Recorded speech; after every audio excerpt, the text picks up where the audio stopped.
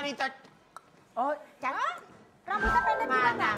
Ah, rambutnya segini, Segini. Bob, Iya. Bob juga berarti. Bob. Base-nya, tapi base-nya. belakangnya bolongnya segini. Oh my god. Udah bolong. Siapa? Cantik, Siapa? seger banget, Siapa? fresh. Siapa dia? Cut Meme. Seger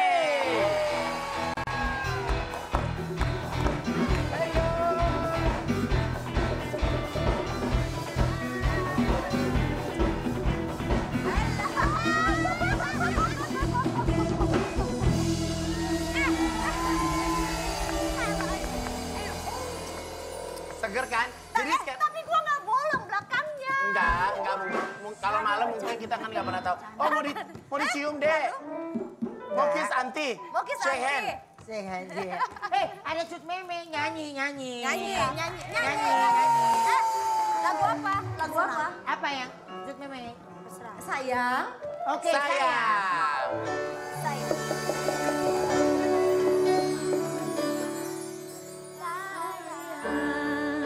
Opo koe krungu cerita hatiku mengharap engkau kembali. Sayang nganti memutih rambutku rabakal luntur tresnoku. Wes tak coba ngalake jenengku saka atiku satenane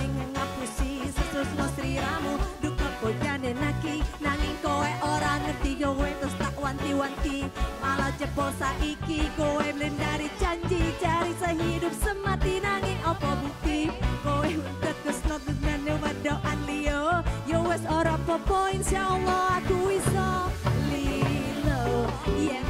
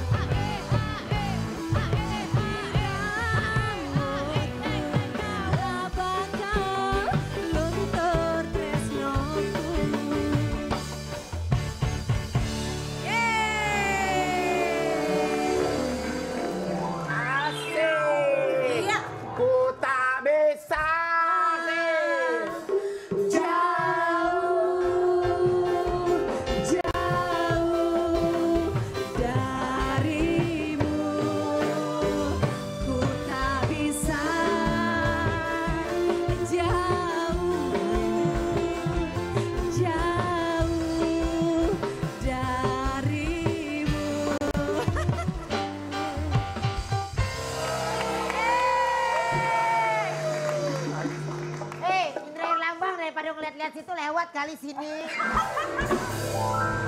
Eh, ada Indra Herlambang. Sini lo. Kakak, Eh, kakak sini ada nasi kotak satu masih sisa.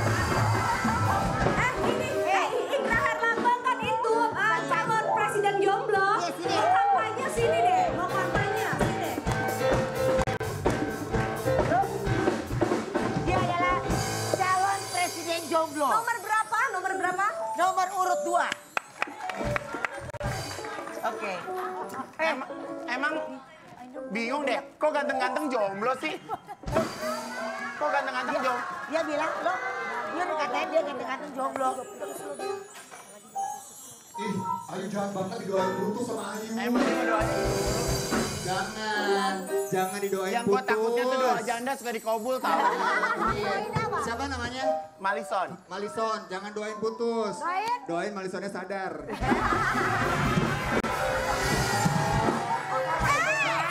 Tahu gitu, tahu gitu gue nggak tarik ke dalam dia. Iya, iya, iya. Nggak apa-apa. Salah, doain. Infotainment, Mbak. Teman sama ya. Betul, multatul. Ayo, dadah, dadah. Bye. Eh, awas lu numpang toilet gue ya. Biasa anak insert nih. Oke, sekarang ini kalau ngomong cut meme. Ini kan sekarang sekarang kesibukan terakhir lagi apa? Aku lagi sebentar lagi habis lebaran insya Allah doain aja mau keluar album. Album nih. Album, mini album sih sebenarnya. Ini album. Ya, Oke, ini eh, project berarti eh, project sendiri atau gimana? ya project sendiri, nyanyi Project sendiri. sendiri aja. Mm. Nggak ada featuring featuring sama siapa pun. Ah, enggak sih, enggak ada. Nggak Tapi ada. ada. satu lagu di di satu album aku itu ada yang memang lagu duet. Jadi aku uh, duet sama Dimas uh, vokalisnya Patriot. Oh, Oma, aku tuh sempat baca kalau nggak salah itu albumnya itu lagunya isinya lagu-lagu yang dulu-dulu Nah. didangdutin ya. Jadi judulnya, aduh gak usah ya, pokoknya lagu pop ngehits dulu semuanya dangdut gitu. Lagu-lagu yang ngehits, pop-pop ngehits sekarang didangdutin. Iya. Bocoran dong. Salah, nanti salah satunya eh, yang aku nyanyi nanti. Tapi bukan itu lagu pertamanya. Jadi buat brownies aku kasih dulu deh. Wow, manja. Bestnya. All the best. Belum belum belum rilis soalnya, masih disimpan. Oh, belum Riles ya. Belum.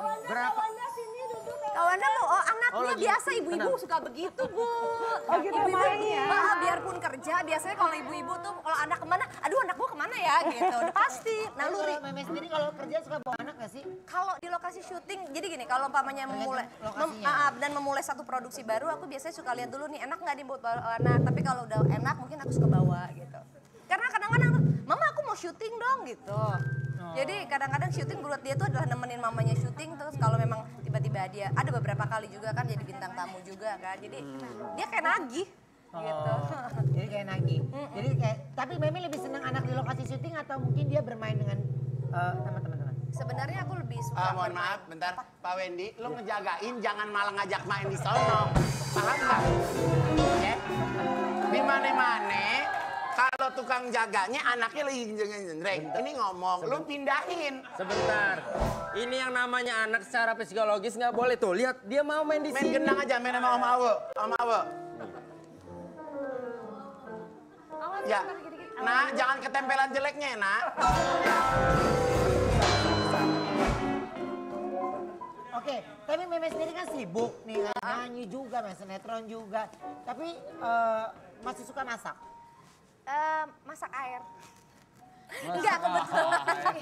Enggak kebetulan suamiku itu eh, hobinya masak. Jadi aku nggak pernah masak di rumah. Jadi yang masak itu justru suami. Suami. Mm-mm. Saling melengkapi ya. Ah, ah, gitu. Tapi kalau Ayu suami di rumah, eh suami di rumah. Eh, eh, eh, eh. Bestnya. Bestnya. Bestnya. Senang, senang, senang ya. Sehat, sehat. Wendy enak sehat, Ana alhamdulillah sehat. belum punya anak. Ini ntar lagi lahir. Oke, tapi kan kalau ini kan ngomongin para eh, apa namanya? Apa istri-istri, para ibu, para ibu eh, boleh kalau bertiga mau itu Katanya saya. Mama.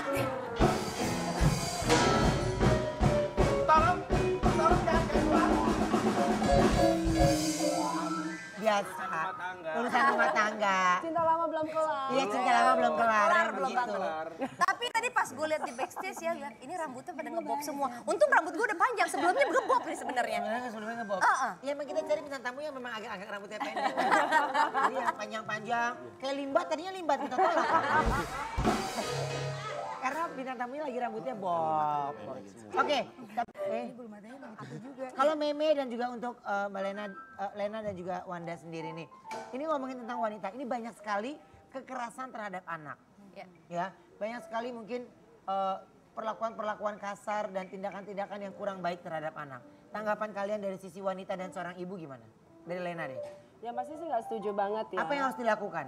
Yang pasti sih sebenarnya menurut aku mungkin sebagai seorang wanita ini pasti ada trigger yang membuat uh, orang ini jadi nggak sabaran bahkan pelampiasannya itu terhadap anak. Ya. Gitu mungkin saja nggak kesukaannya terhadap suami atau apa. Nah yang paling penting adalah mungkin mengetahui diri sendiri dan juga bisa menyelesaikan masalah diri sendiri karena jangan sampai anak yang menjadi korban gitu loh. Ya. Karena anak itu memang seharusnya dikasih kasih sayang dan juga yang memang harusnya itu adalah tugas kita untuk mendidik dia gitu. Ya.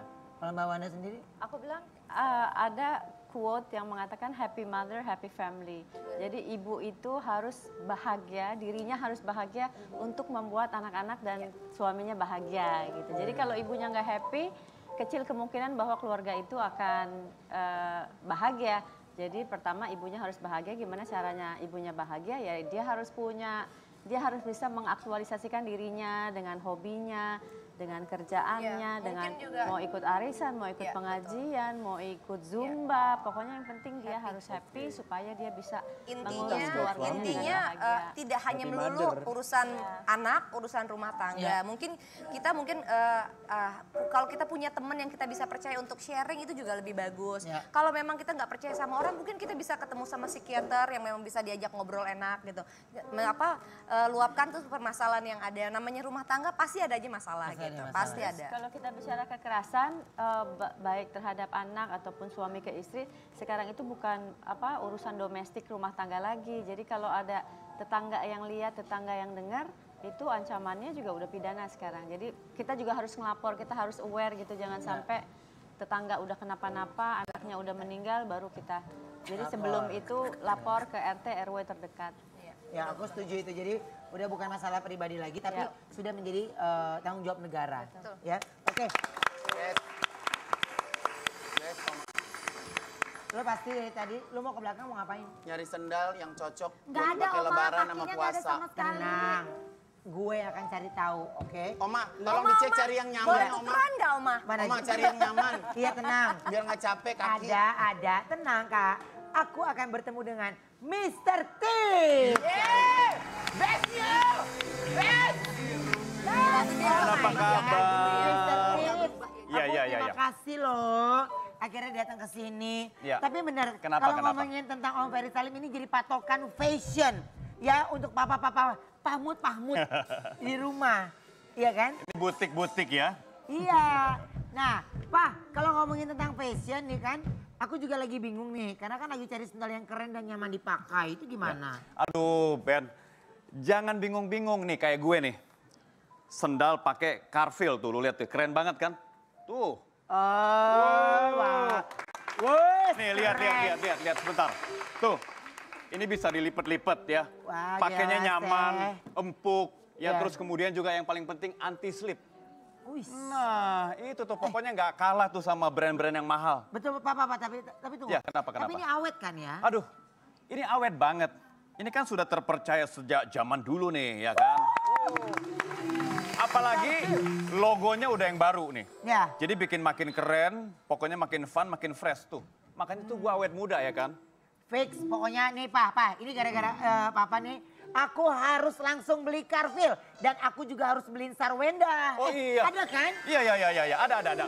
Ruben kan terkenal sayang banget sama istri kan. Amin. Ya, Anos, dia, dia nonton nih kayaknya. Nonton, Iya. istriku. Nah, Carville ini udah ada produk untuk pria dan wanita. Yes. Ya kan? Pokoknya lengkap nih koleksinya tuh. Tuh. Mau yang sendal gunung yang suka traveling ada, Ada. ya. Sendal spons ada, Ada. sendal casual ada. Jadi walaupun di rumah tuh sehari-hari tetap Ya. keren, ya kan? Betul, betul, nah, betul. makanya buruan beli Carville, ya kan? Karena Carville Tetap, yang, terbaik. Oh. Aku mau beli juga Sarwenda Oh. habis ini. Oke oke, kalau kayak gitu jangan ke mana-mana kita akan kembali setelah yang satu ini tetap di Brownies, obrolan manis. Yeay!